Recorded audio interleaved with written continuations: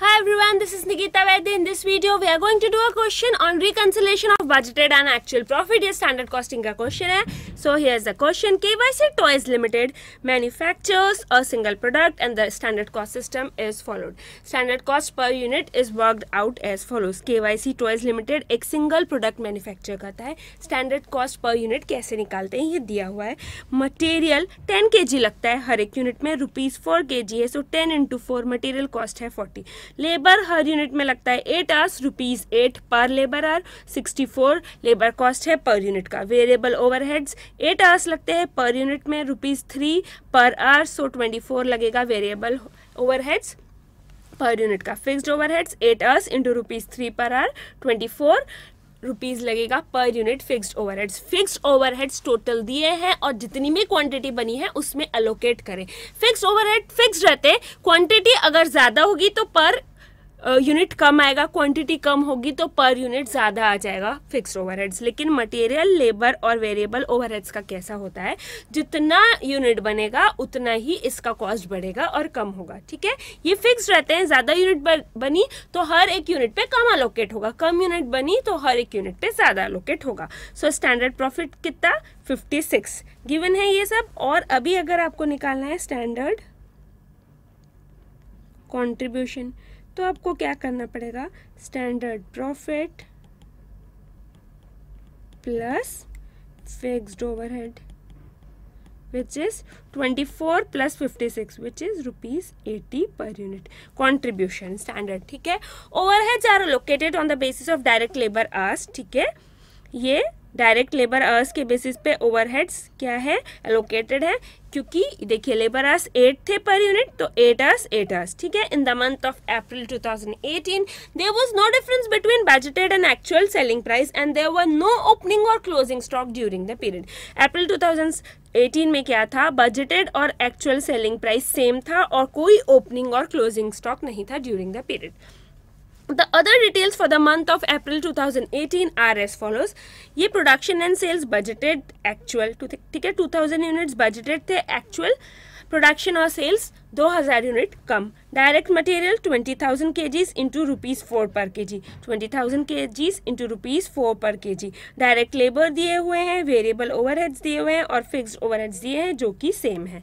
Right now required reconcile reconcile the budgeted and actual profit with the help of variances according to each of the following method, ठीक है? दो method है, उसके हिसाब से budgeted और एक्चुअल ओवरहेड्स को रिकनसाइल करना है। कन्वेंशनल मेथड पहला, जैसे हमेशा करते हैं।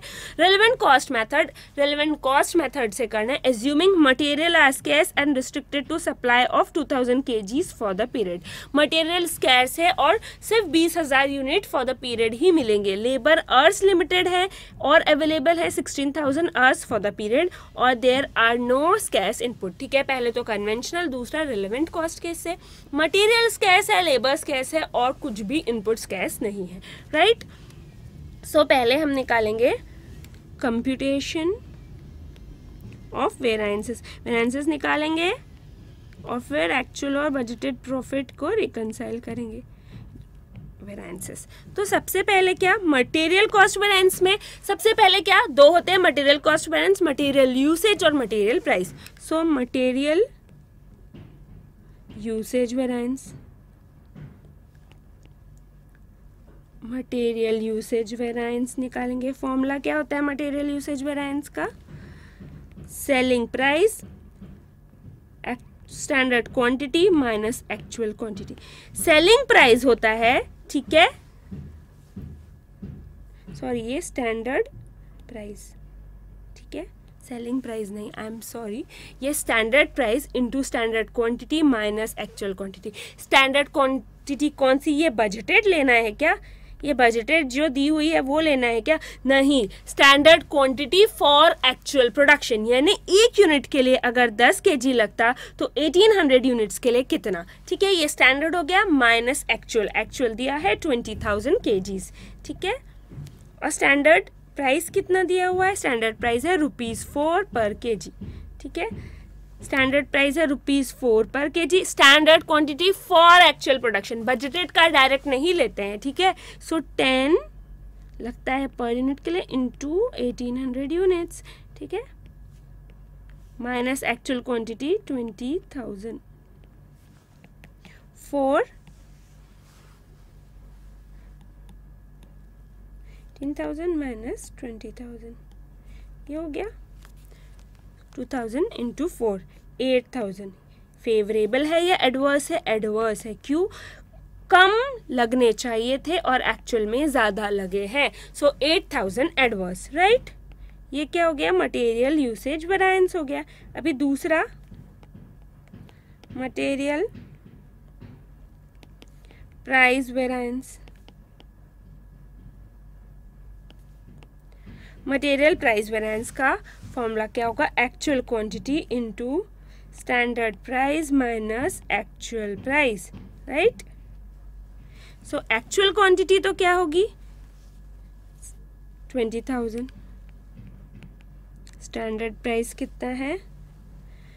स्टैंडर्ड प्राइस है rupees four per K G right और एक्चुअल प्राइस भी कितना है? Rupees four per K G so twenty thousand into four minus four which is equal to zero so material price variance is zero अभी material variance हो गया material price निकाला material usage निकाला.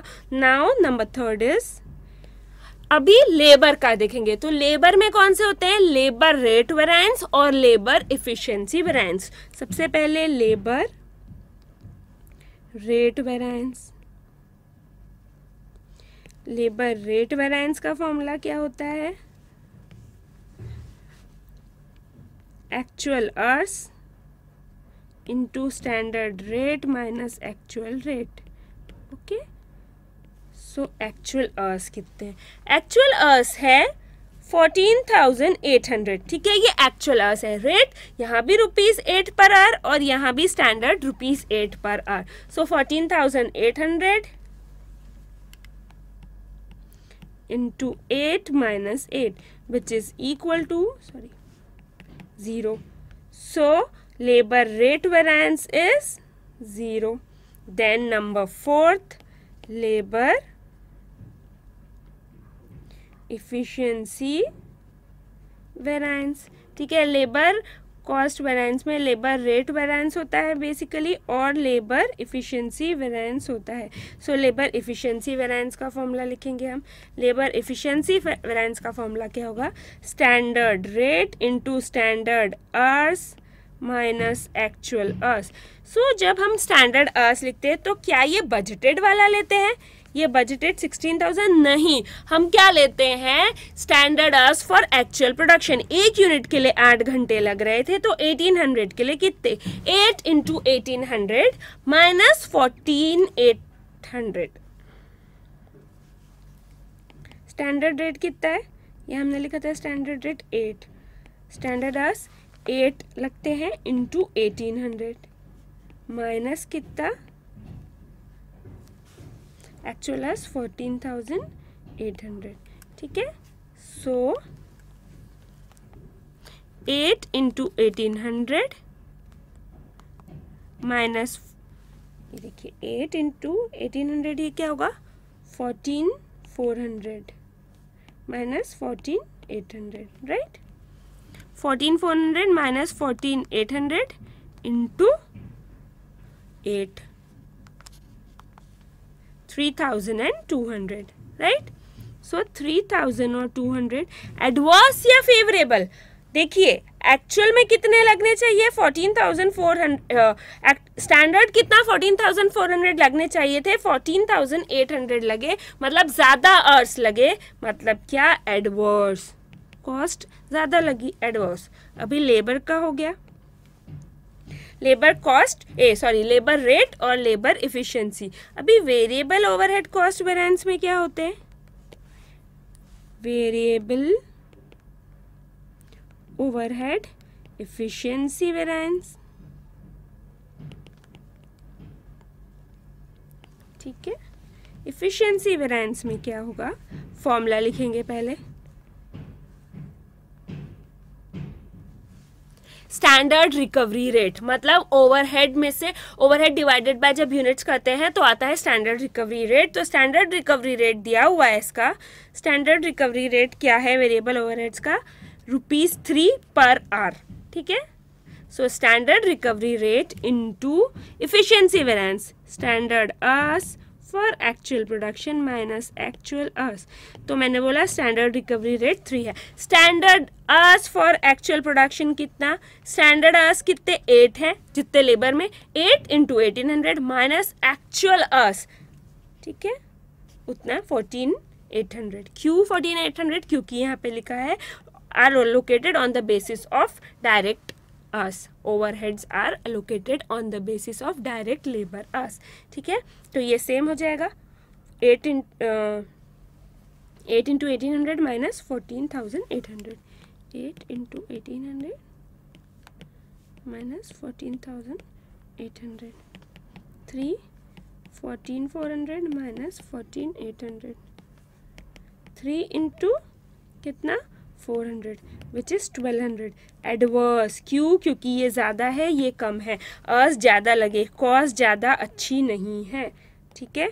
Now number six variable overhead expenditure variance expenditure variance का formula क्या होगा?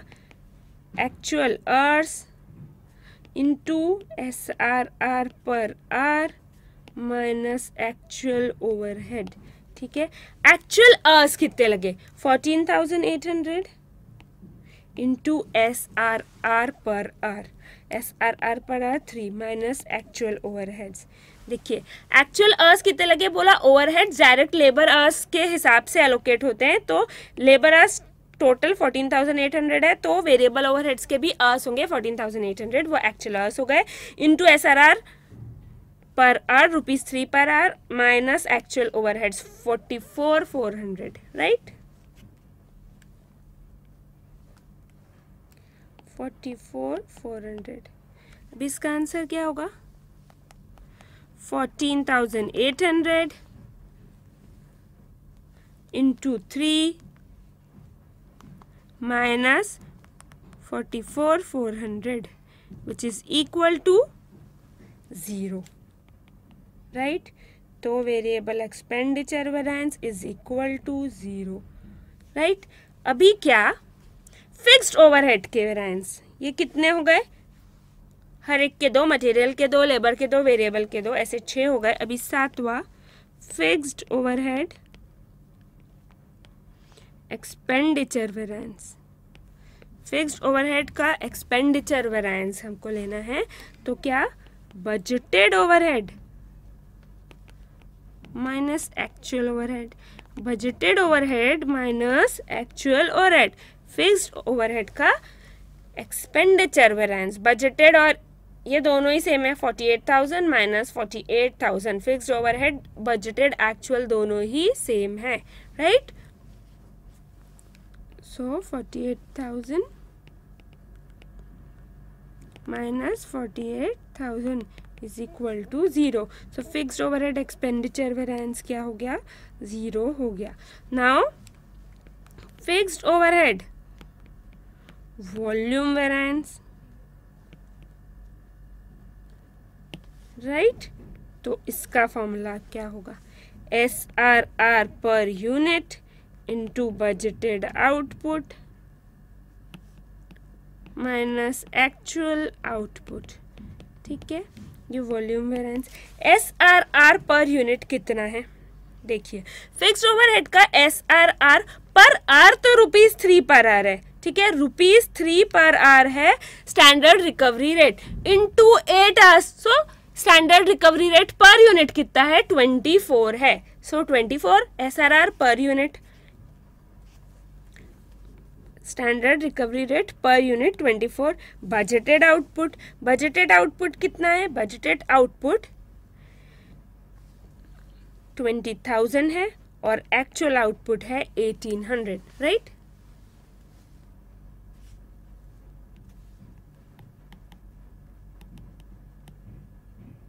eighteen two thousand minus eighteen hundred not twenty thousand so ये twenty four into two hundred is equal to forty eight hundred adverse है या फिर क्या है favourable 2000 output बनने चाहिए थे। एक्चुअली में सिर्फ़ 800 ही 1800 ही बने, कम बने तो ये क्या एडवर्स राइट right? क्योंकि क्या आउटपुट ज़्यादा से ज़्यादा बनाना अच्छा है, कम बने तो एडवर्स वेरायंस ये दो क्या हो गए? फिक्स्ड ओवरहेड वेरायंस भी हो गए कॉस्ट के। अभी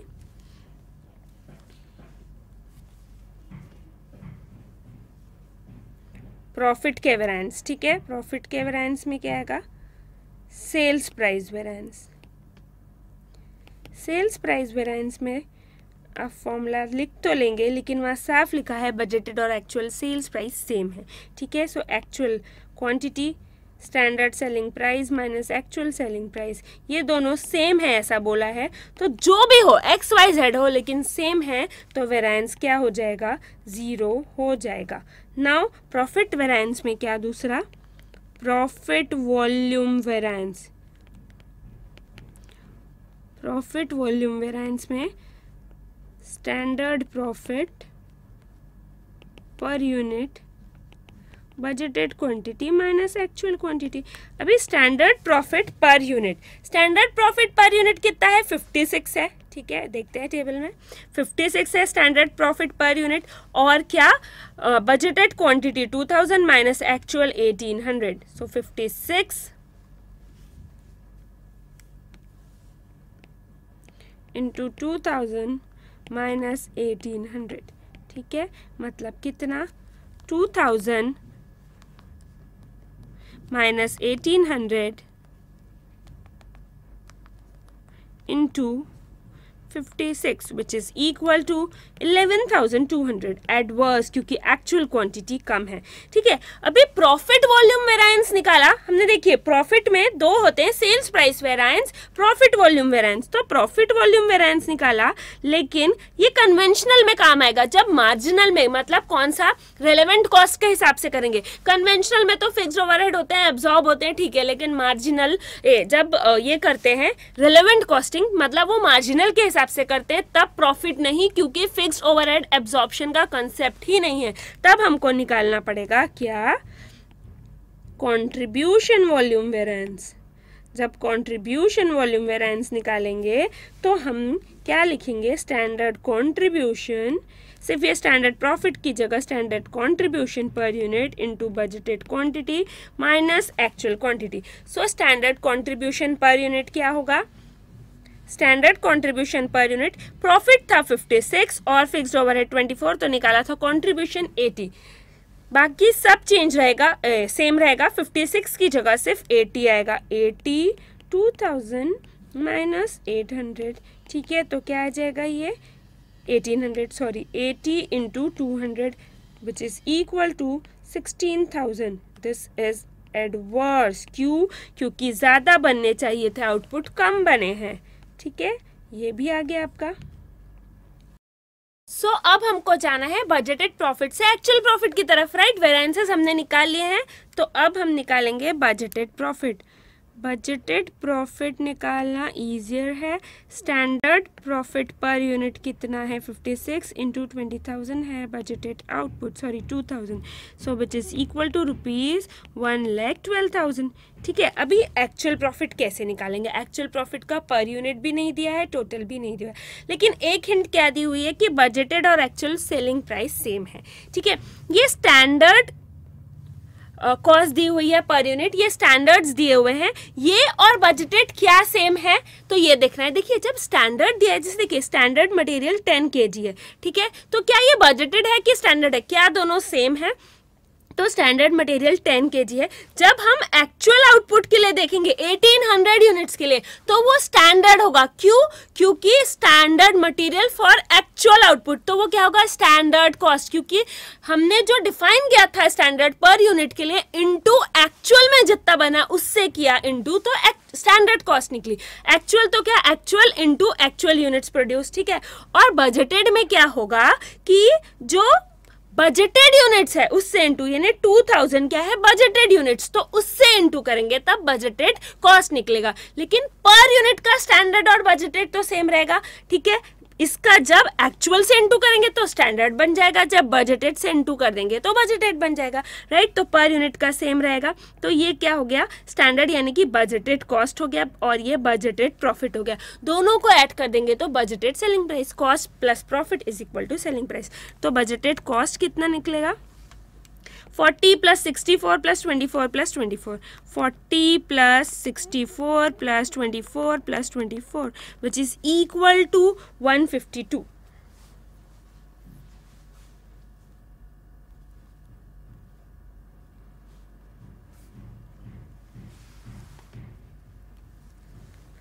budgeted cost per unit का forty plus sixty four plus twenty four plus twenty four so per unit का बजटेड कॉस्ट क्या जाएगा? रुपीज़ वन फिफ्टी टू और बजटेड प्रॉफिट पर यूनिट कितना है? Fifty six so budgeted selling price budgeted selling price कितना? ये अगर A है और ये अगर बी है सो ए प्लस बी हो जाएगा budgeted selling price 152 plus fifty six which is equal to rupees two hundred and eight ये बजटेड सेलिंग प्राइस है। अगर बजटेड सेलिंग प्राइस ये है तो एक्चुअल सेलिंग प्राइस भी यही होगा, क्योंकि क्वेश्चन में लिखा है बजटेड और एक्चुअल सेलिंग प्राइस क्या है? सेम है। ठीक है? यही एक्चुअल सेलिंग प्राइस है। Right right? अब हमको क्या देखना है? एक्चुअल सेलिंग प्राइस आ गया हमारे पास। अभी हमको क्या देखना है? कि एक्चुअल सेलिंग प्राइस आ गया है, लेकिन actual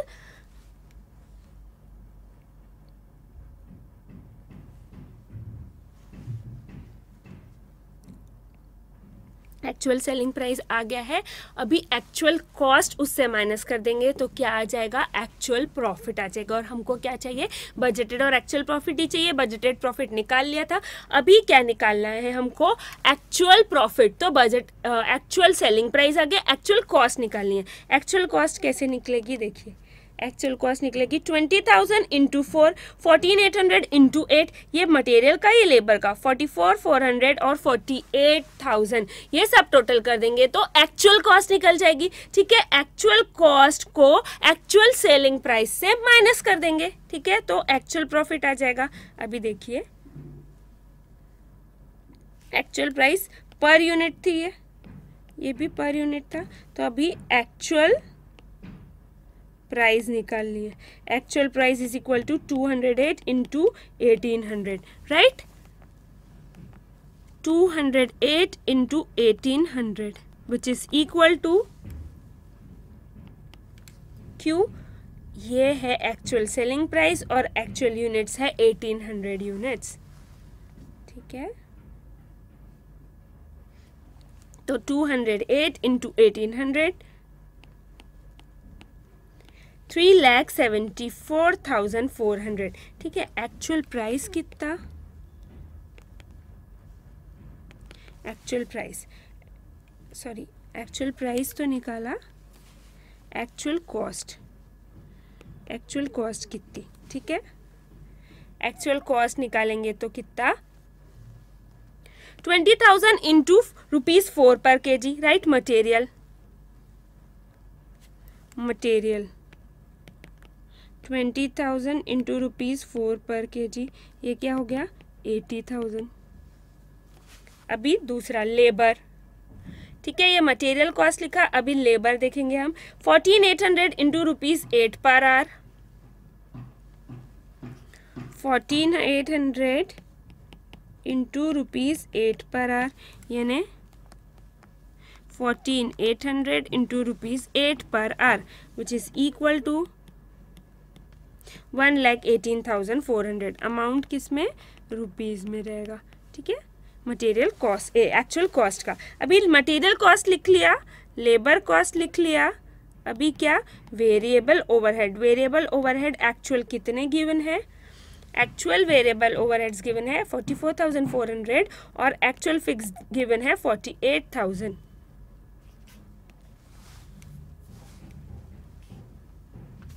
forty four thousand four hundred और फिक्स्ड ओवरहेड दिए हुए हैं फोर्टी एट थाउज़ेंड इनका टोटल करेंगे तो कितना आएगा? Eighty thousand plus one lakh eighteen thousand four hundred plus forty four thousand four hundred plus forty eight thousand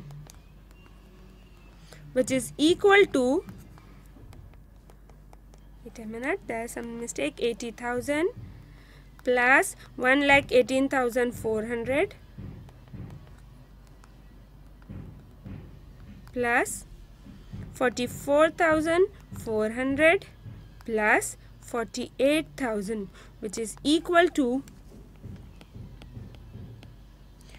two lakh ninety thousand eight hundred ठीक है ये क्या आ गया एक्चुअल कॉस्ट आ गया so actual profit is equal to actual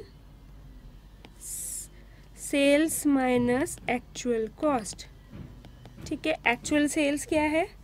Three lakh seventy four thousand four hundred three lakh seventy four thousand four hundred minus two lakh 90,800 which is equal to rupees 3 lakh 74,800 minus 2 lakh 90,800 which is equal to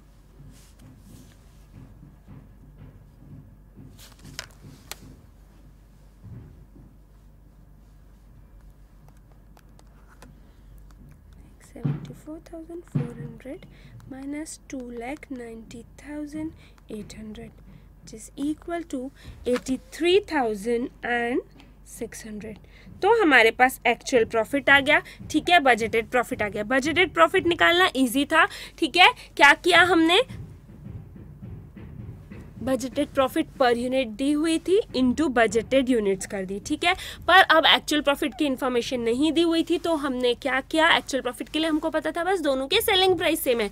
तो हम budgeted selling price तक पहुँचना चाहते थे। हमने budgeted cost per unit लिखी, ठीक है? जो कि स्टैंडर्ड कॉस्ट पर यूनिट ही होती है, वो वन है। बजटेड प्रॉफिट लिखा फिफ्टी तो बजटेड सेलिंग प्राइस क्या हुआ? To budgeted cost plus budgeted profit is equal to budgeted selling price that is equal to actual selling price ठीक है? अभी एक्चुअल सेलिंग प्राइस आ गई और एक्चुअल यूनिट्स पता है तो एक्चुअल सेल्स आ गया, कितना? 200 हंड्रेड एट इंटू एटीन फिर जब एक्चुअल सेल्स आ गया तो एक्चुअल कॉस्ट निकालनी है। एक्चुअल कॉस्ट की डिटेल्स आपको टेबल में नीचे दी हुई है तो टोटल आ गई two lakh ninety thousand eight hundred sales में से कॉस्ट माइनस किया तो आ गया actual profit eighty three thousand six hundred अब हमको क्या बनाना है? अब हमको बनाना है reconciliation table right reconciliation between budgeted and actual profit ठीक है अभी इसमें क्या होंगे देखिए पर्टिकुलर्स होगा ठीक है फिर कन्वेंशनल मेथड फिर तीसरा क्या होगा? Relevant cost method relevant cost method में भी तीन होंगे, ठीक है? Particulars conventional method relevant cost method में तीन होंगे। वो तीन क्या होंगे? देखिए अब स्कैस मटेरियल है स्कैस लेबर है नोक स्कैस मटेरियल स्कैस लेबर स्कैस और नो स्कैस ठीक है? नो स्कैस इनपुट सबसे पहले क्या लिखेंगे हम? बजटेड ए में बजटेड प्रॉफिट बजटेड प्रॉफिट हमने निकाल चुका है वन लैख ट्वेल्व थाउज़ेंड तो वो डायरेक्ट लिख देंगे तीनों में. सेम आएगा sorry one lakh twelve thousand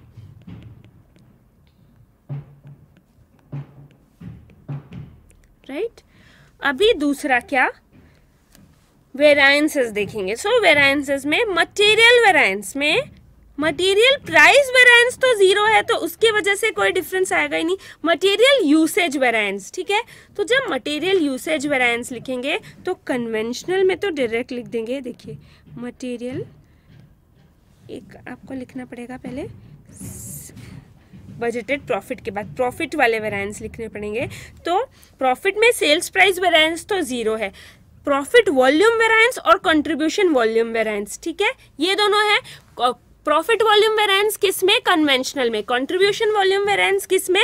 relevant cost method में। तो मैं यहाँ लिख रही हूँ वॉल्यूम वेरायंस ठीक है? वॉल्यूम वेरायंस कितना होगा इसका? Profit volume variance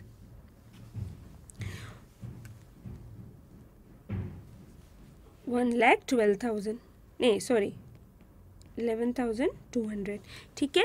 ये एडवर्स अभी इसमें रेलेवेंट कॉस्ट में मटेरियल स्कैस लेबर स्कैस और नो स्कैस इनपुट इसमें चेंज होंगे कंट्रीब्यूशन वेरायंस क्यों मटेरियल लेबर और इन सब के वेरायंस के वजह से। ठीक है? तो अभी हम वो नहीं लिख रहे सी में हम लिखेंगे मटेरियल यूसेज वेरायंस क्योंकि प्राइस वेरायंस तो ऑलरेडी ज़ीरो है। उसके वजह से कोई डिफरेंस नहीं आएगा। ठीक है? अब मटेरियल यूसेज वेरेंस जब आप लिखते हैं तो कितना आएगा material usage variance eight thousand adverse conventional के हिसाब से it's very easier eight thousand क्या लिख दिया? एडवर्स लिख दिया। अभी रिलेवेंट कॉस्ट में मटेरियल स्कैर्स है, ठीक है? मटेरियल स्कैर्स है। ठीक है तो अब क्या होगा देखेंगे। मटेरियल स्कैर्स है, वो बोल रहा है मटेरियल सिर्फ़ हमारे पास ट्वेंटी थाउज़ेंड के जी ही है, ठीक है? जब ट्वेंटी थाउज़ेंड के जी ही है मटेरियल स्कैर्स है तो हमको मटेरियल कितना ज़्यादा लग गया? अभी देखेंगे। मटेरियल एटीन थाउज़ेंड लगना चाहिए था, बीस हज़ार लग गया। स्कैर्स मटेरियल है। ज़्यादा लग गया, कितना ज़्यादा लग गया? दो हज़ार यूनिट दो हज़ार के जीज मटेरियल ज़्यादा लग गया। दो हज़ार के जी जब मटेरियल ज़्यादा लग गया, उसके बदले 2000 केजी जो ज़्यादा लग गया, उसके बदले हम कंट्रीब्यूशन अर्न कर सकते थे। कितना कंट्रीब्यूशन अर्न कर सकते थे? कितनी यूनिट बढ़ेगी जो ज़्यादा लग गया, फालतू में लग गया। तो 2000 से कितने बनते 10 केजी लगते हैं हर यूनिट पे। तो 2000 से 200 यूनिट बनती। और 200 कंट्रीब्यूशन कितना आता? हर एक यूनिट पे आता 80 ठीक है? सो 200 सौ इंटू अस्सी। सोलह हज़ार का हमको क्या हुआ? कंट्रीब्यूशन का लॉस हुआ, ठीक है? सोलह हज़ार का जब हमको कंट्रीब्यूशन लॉस हुआ तो मटेरियल वेरेंस में सोलह हज़ार एडवर्स को हम क्या करेंगे? सोलह हज़ार एडवर्स को हटा देंगे। सॉरी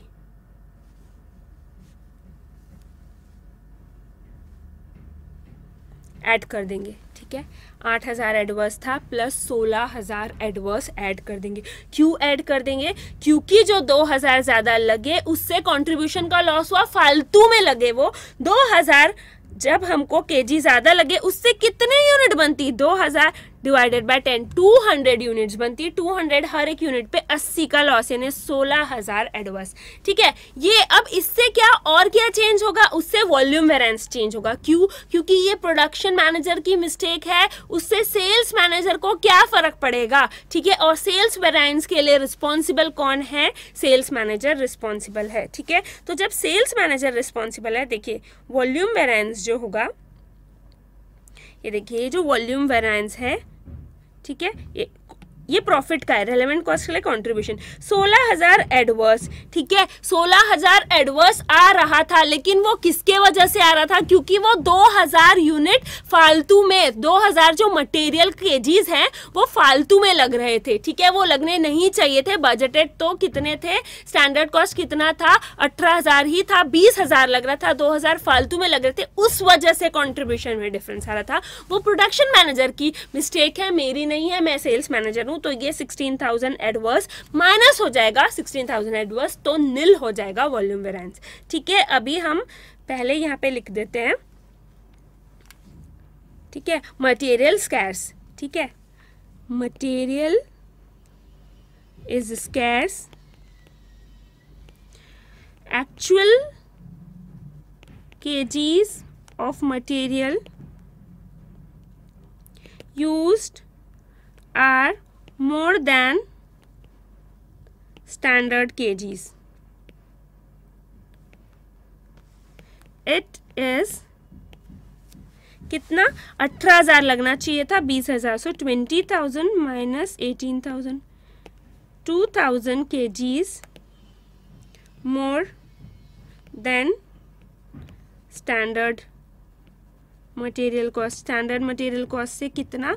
दो हज़ार K G standard material K Gs use it is 2000 thousand KGs more than standard material KGs use जितनी होनी चाहिए थी, उससे 2000 केजी यूज़ ज़्यादा यूज़ हुआ. So there is a there is contribution loss of units which could have produced by using 2000 kgs of material ठीक है? 2000 KG के जी के से कंट्रीब्यूशन लॉस है, ठीक है? 2000 केजी हर एक यूनिट पे कितनी केजी 10 केजी लगती है। So units that could have produced is equal to 2000 kgs divided by 10 kg per unit is equal to 200 units and contribution loss on 200 units is 200 into contribution कितना 80 is equal to 16,000 ठीक है इतना contribution loss है this is adverse variance so material usage variance when material is scarce is, पहले कितना था? Eight eight thousand adverse था plus sixteen thousand adverse is equal to twenty four thousand adverse अभी ये प्रोडक्शन मैनेजर की वजह से सेल्स मैनेजर उसके लिए रिस्पॉन्सिबल नहीं है सो so कॉन्ट्रीब्यूशन से वो माइनस हो जाएगा। This for this variance sales manager is not responsible this contribution loss is due to material hence it has to be avoided in contribution variance calculation पहले कितना था for this variance sales manager is not responsible ठीक है? This contribution loss is due to material hence it has to be avoided in contribution variance calculation अभी contribution variance कितना था? Sixteen thousand so sixteen thousand adverse minus sixteen thousand adverse is equal to nil contribution variance कितना हो जाएगा? नील हो जाएगा.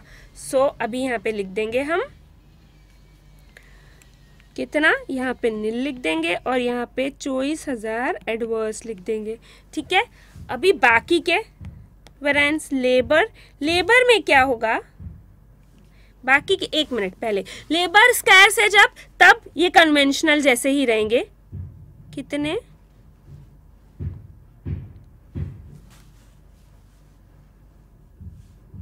ये volume variance तो चेंज होगा, ठीक है? मटेरियल यूसेज सेम रहेंगे 8000 कन्वेंशनल जैसे एडवर्स और 8000 एडवर्स ठीक है? अब लेबर लेबर में दो होते हैं labour rate variance labour efficiency variance labour rate variance zero है। लेबर एफिशिएंसी वेरांस कन्वेंशनल में कितना?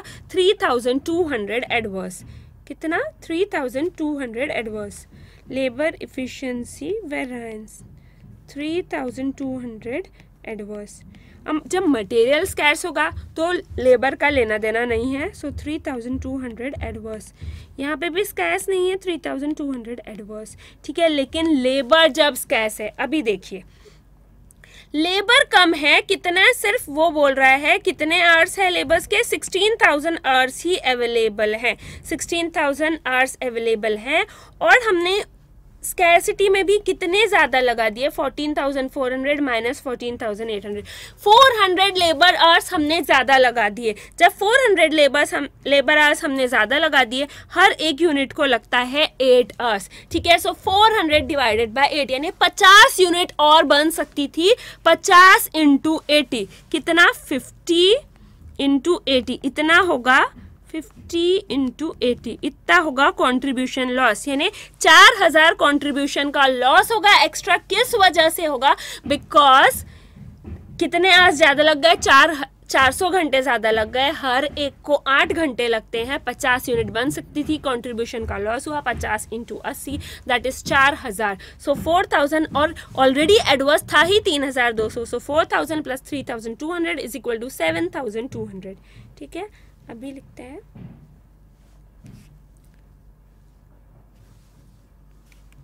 Labour scarce. Labour is scarce. So कितना? Contribution loss which the units could have earned if So contribution loss which the units could have earned if extra labor hours would not have incurred will be considered किस वजह से अगर ये extra labour hours 400 extra labour hours है। Extra labour hours ठीक है? Actual actual में ज़्यादा लगे कितने? 400 hundred hours so units that could have been produced कित 50 यूनिट्स बन सकती थी 400 और हर एक को लगता है eight hours so 50 units contribution loss is equal to fifty into eighty is equal to four thousand ठीक है? कॉन्ट्रीब्यूशन एडवर्स है, ठीक है? ये ऑफ़ कोर्स अच्छा नहीं है, ये कंट्रीब्यूशन का लॉस हो गया। सो फोर थाउज़ेंड एडवर्स अभी this is not mistake of sales manager so the amount has to be has to be subtracted from contribution variance contribution variance में से माइनस कर दिया जाएगा क्योंकि ये सेल्स मैनेजर की मिस्टेक नहीं है। कॉन्ट्रीब्यूशन कितना था? कॉन्ट्रीब्यूशन वॉल्यूम वेरिएंस कितना था? सिक्सटीन थाउज़ेंड क्या एडवर्स ठीक है? सिक्सटीन थाउज़ेंड एडवर्स था उसमें से क्या माइनस कर देंगे हम? ये जो इसकी वजह से कंट्रीब्यूशन में डिफरेंस है फोर थाउज़ेंड एडवर्स ठीक है? So 16,000 adverse minus 4,000 adverse is equal to 12,000 adverse. ठीक है जब लेबर स्कैस रहेगा तो कंट्रीब्यूशन वॉल्यूम वेरायंस क्या हो जाएगा? 12,000 एडवर्स और ये कितना हो जाएगा? 4,000 और 3,200 पहले ही था यानी 7,200 एडवर्स ठीक है? यहाँ पे लिख देती हूँ मैं थ्री हज़ार three thousand adverse plus four thousand three thousand two hundred adverse plus four thousand adverse is equal to seven thousand two hundred adverse ठीक है? ये हो गया। अभी ई e. और कौन से वेरायंस है? वेरिएबल ओवरहेड वेरायंस ठीक है? वेरिएबल ओवरहेड वेरायंस में कौन कौन से है? वेरिएबल ओवरहेड वेरायंस में है। इफिशियंसी और एक्सपेंडिचर एक्सपेंडिचर तो ज़ीरो है इफिशियंसी 1200 एडवर्स है, ठीक है? So variable overhead efficiency variance conventional में तो डायरेक्ट लिखते ही हैं 1200 एडवर्स यहाँ कितना? 1200 एडवर्स और यहाँ कितना? 1200 एडवर्स सारों में 1200 एडवर्स ठीक है? क्योंकि लेबर और मटेरियल्स का ऐसे, यहाँ नो स्कैरसिटी जब स्कैरसिटी नहीं होती है तो क्या कन्वेंशनल और रेलेवेंट कॉस्ट मेथड सेम होते हैं? ठीक है, ये हमको देखना नहीं, क्यों नहीं? तब भी नहीं। क्योंकि फिक्स्ड ओवरहेड वेरायंस कन्वेंशनल में रहता है रेलिवेंट में नहीं रहता है। सो so, बाकी चीज़ें सेम रहेगी। बस ये वाला वेरिएंस उसमें नहीं रहेगा। अभी फिक्स्ड ओवरहेड एक्सपेंडिचर नहीं है। फिक्स्ड ओवरहेड वॉल्यूम वेरिएंस चार हज़ार आठ सौ है ठीक है? फिक्स्ड ओवरहेड वॉल्यूम वेरिएंस चार हज़ार आठ सौ एडवर्स ठीक है? यहाँ पे कुछ भी नहीं ठीक है? तो अभी नोट लिख देंगे। Note working note working note लिख देंगे कि in relevant cost method fixed overhead variances are not considered. ठीक है? फिक्स्ड ओवरहेड वेरायंसेस किसमें नहीं आते? रेलेवेंट कॉस्ट मेथड में नहीं आते हैं। क्यों नहीं आते रेलेवेंट कॉस्ट मेथड में fixed overhead variances because marginal costing does not consider fixed overhead fixed overhead consider नहीं करती मार्जिनल कॉस्टिंग ठीक है? अभी एक्चुअल प्रॉफिट एक्चुअल प्रॉफिट क्या?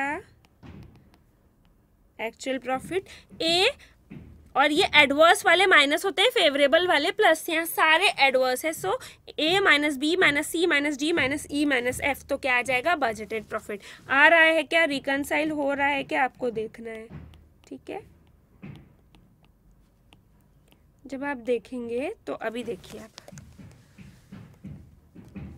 वन कन्वेंशनल का one lakh twelve thousand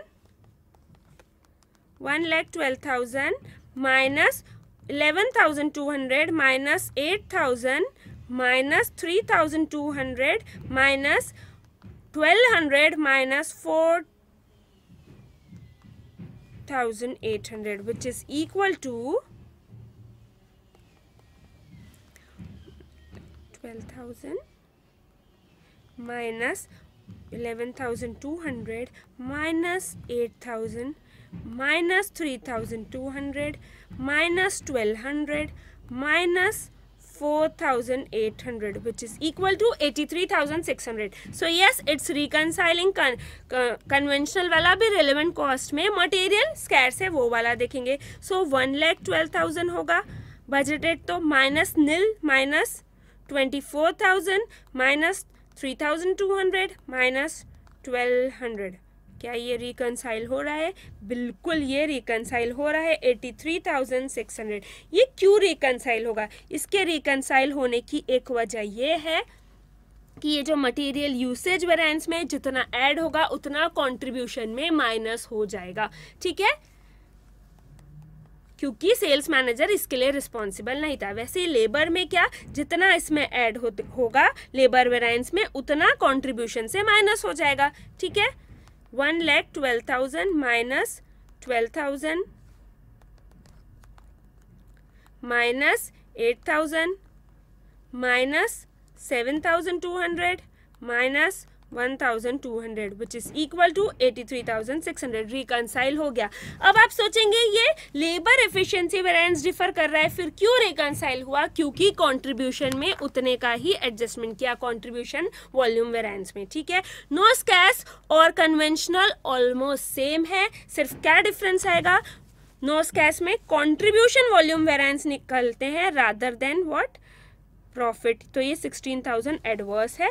ठीक है? और दूसरा क्या कि फिक्स्ड ओवरहेड का वेरायंस वहाँ पे नहीं लिखते कन्वे इसमें। किसमें? रिलेवेंट कॉस्ट के नो स्कैर्स में। क्यों नहीं लिखते इसमें?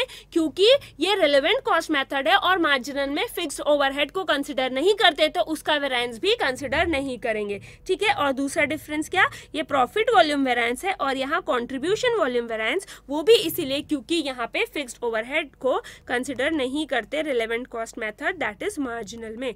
So one lakh twelve thousand minus sixteen thousand minus eight thousand minus 3200 minus 1200 which is equal to 83600 तो रिकन्सिलेशन हो गया ये सारों का। बजटेड और एक्चुअल प्रॉफिट का हमने वेराइंसेस निकाले बहुत सारे, ठीक है? मटेरियल के दो लेबर के दो वेरिएबल ओवरहेड के दो फिक्स्ड ओवरहेड के दो और प्रॉफिट वेराइंस दो, ठीक है? सबसे पहले हमने ये निकाले बजटेड प्रॉफिट निकाला एक्चुअल प्रॉफिट डायरेक्ट नहीं निकल सकता था। तो बजटेड सेलिंग प्राइस तक आया actual selling price is equal to budgeted selling price और फिर एक्चुअल प्रॉफिट तक आया, ठीक है? फिर हमने जब रिकन्सिलेशन स्टेटमेंट बनाया तो बजटेड और एक्चुअल प्रॉफिट हमको पता था वेरायसेस पता थे, लेकिन क्या? मटेरियल जब स्कैर्स होता है तो मटेरियल स्कैस होगा तो जितना मटेरियल ज़्यादा यूज़ हो गया, उसके वजह से जितना कंट्रीब्यूशन में लॉस हुआ, वो कंसिडर करेंगे। और सेल्स मैनेजर प्रोडक्शन के लिए या मटेरियल ज़्यादा यूज़ हो गया है, उसके लिए रिस्पॉन्सिबल नहीं है, इसलिए कॉन्ट्रीब्यूशन वॉल्यूम वेरेंस में भी उसका एडजस्टमेंट करेंगे। सेम लेबर के वजह से है कि लेबर जब स्कैस होगा तो जितने अर्स ज़्यादा लगे, ठीक है, उसकी वजह से कॉन्ट्रीब्यूशन में कितना लॉस वो कितना, कि उतना से कितने यूनिट बनेगी और उतने यूनिट से कितना कॉन्ट्रीब्यूशन का लॉस हुआ, वो कंसिडर कंसिडर करेंगे और फिर कंट्रीब्यूशन वॉल्यूम वेराइंस में भी चेंज होगा बिकॉज़ लेबर ज़्यादा लेबर आज ज़्यादा लगे, ये सेल्स मैनेजर की प्रॉब्लम नहीं है तो कंट्रीब्यूशन वॉल्यूम वेराइंस में भी उसका एडजस्टमेंट करेंगे। जब स्कैर्स नहीं होंगे इनपुट तो क्या होगा? बाकी चीज़ें कन्वेंशनल मेथड से सेम होगी। बस यहाँ पे प्रॉफिट वॉल्यूम वेरेंस या कंट्रीब्यूशन वॉल्यूम वेरेंस और यहाँ फिक्स ओवरहेड वेरेंस और यहाँ नहीं लेंगे। क्यों? क्योंकि रिलेवेंट कॉस्ट मेथड में स्कैर्स नहीं भी हो इनपुट तो फिक्स ओवरहेड कंसिडर नहीं करते और ये दोनों डिफरेंस वेरेंस के फिक्स ओवरहेड की वजह से है। This was about reconciliation of budget and actual profit in standard costing इसमें कोई भी डाउट हो प्लीज़ फील फ्री टू